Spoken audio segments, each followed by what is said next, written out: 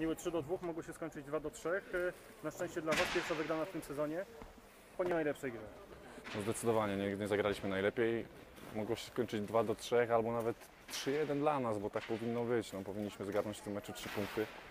Niestety oczywiście e, jakieś tam rozluźnienie, błędy i, i, i widać było młodzi zawodnicy nie kalkulowali w czwartym secie i zaczęli zagrywać dość mocno i, i niestety wyciągnęli tego seta. No, trzeba się cieszyć z dwóch punktów. Ale też trzeba się smucić tym, że po raz kolejny mieliście rywala na, na wyciągnięcie ręki, trzeba było go tylko dobić, a Wy podajecie mu rękę i niewiele brakuje, że Was karci. Dokładnie, po raz kolejny i mam nadzieję, że w końcu wyciągniemy z tego wnioski i, i, i zaczniemy wygrywać za trzy punkty, a nie, a nie męczyć się w pięciu setach.